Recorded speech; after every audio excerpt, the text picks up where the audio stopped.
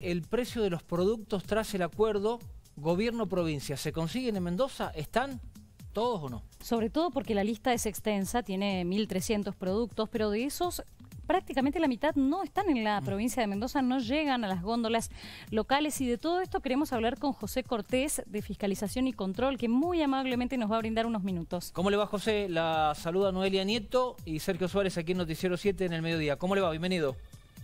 Bueno, muy bien, gracias. Buenas tardes. Buenas tardes. Bueno, ¿cómo han hecho el relevamiento, José? ¿Por qué no nos cuenta qué encontraron, qué no encontraron en las góndolas de los distintos super e hiper?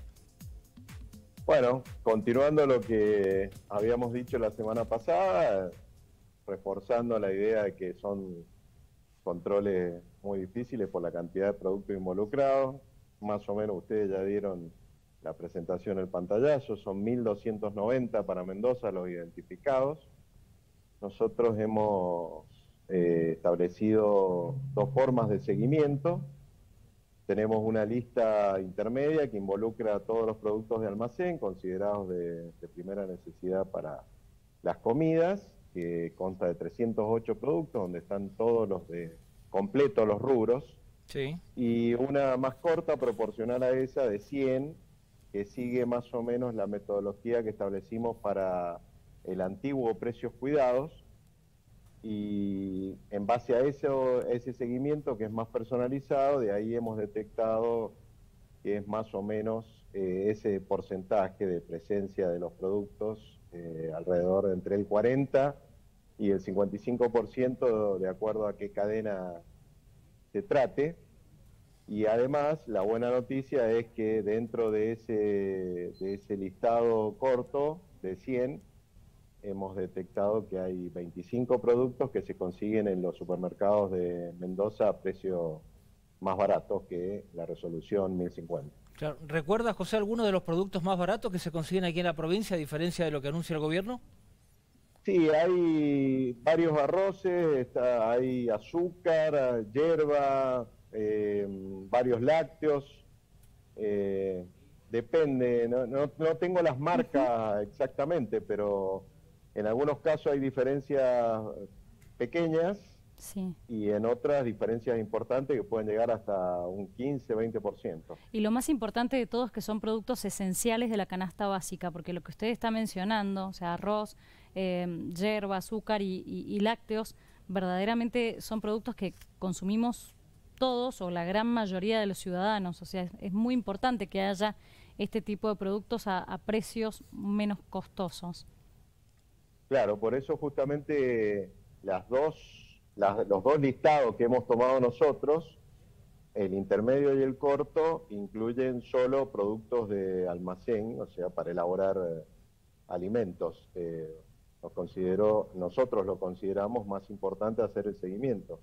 Hay fideos también, eh, varias marcas de, fideos y en general son marcas de primera línea.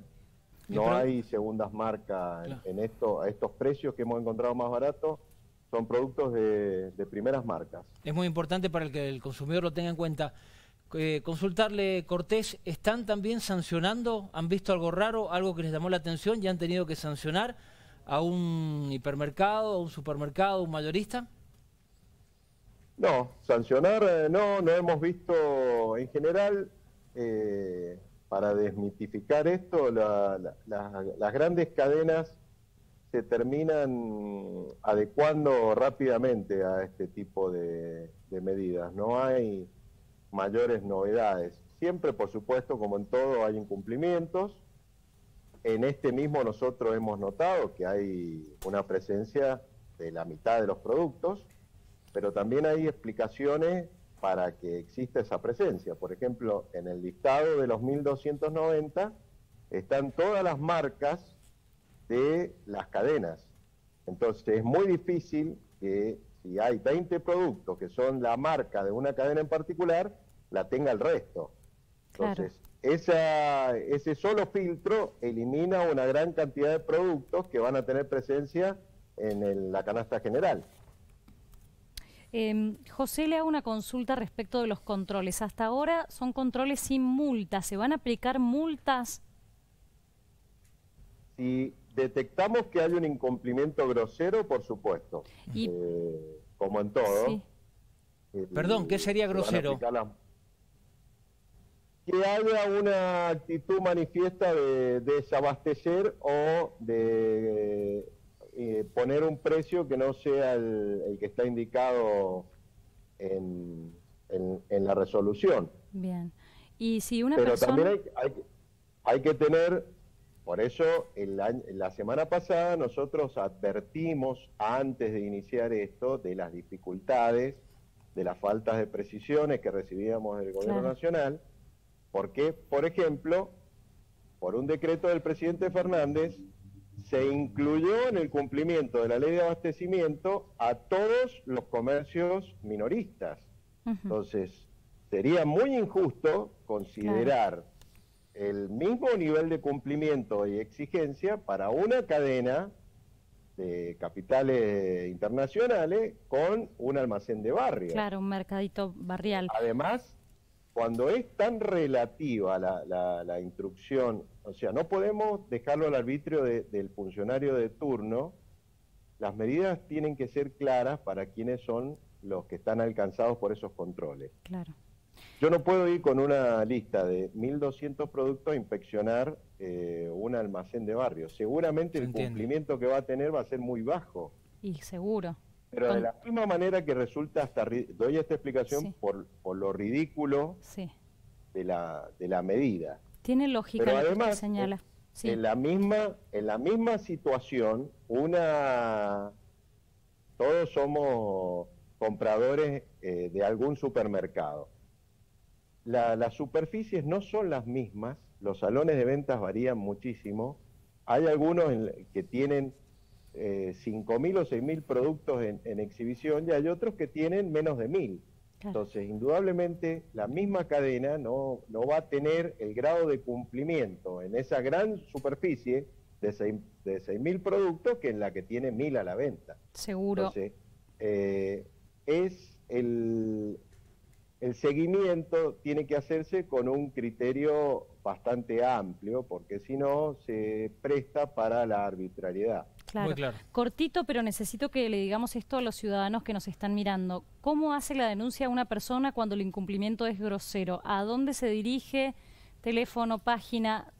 ¿Dónde puedo denunciar? Tienen distintas vías, pero yo sugiero un correo a fiscalización y control arroba mendoza.gov.ar. Muy, Muy bien. Fiscalización y eh, control Porque además nosotros por la misma vía lo ponemos en conocimiento de cuál ha sido la actuación, qué día se hizo la verificación, cuál fue el resultado y si eso produjo que se iniciara alguna algún expediente sancionatorio, también lo informamos y le damos el número de expediente para que después pueda hacer el seguimiento vía web de esas actuaciones. Ha sido muy claro y muy gentil por atendernos, por recibirnos. Gracias.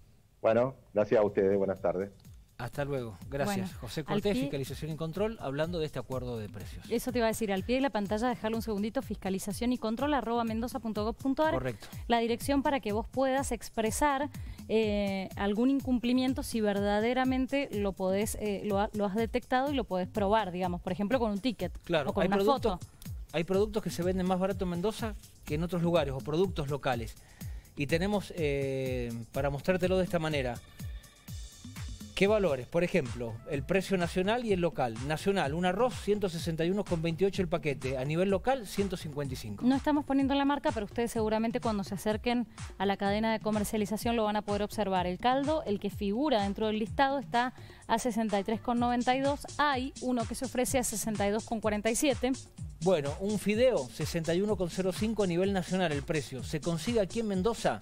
Ese mismo fideo 44,50. Algunas firmas locales entonces que están ofreciendo productos, nos decía em, José Cortés, unos 25 que están por debajo de los precios de referencia del listado y que puedes tenerlo en cuenta. El queso crema, eh, 226,92. Hay una firma local que ofrece queso crema a 209. Salchicha, 124,50 el paquete a nivel nacional. Acá se consigue a 112. Y yogur descremado, por ejemplo, 109,88. Hay eh, a precio menor a 105, ni hablar de las cosas que se producen acá en Mendoza, firmas locales, por ejemplo, no sé, hay empresas lácteas o em, em, empresas que, producen fideos y, y derivados que seguramente tienen otros precios. Muy bien.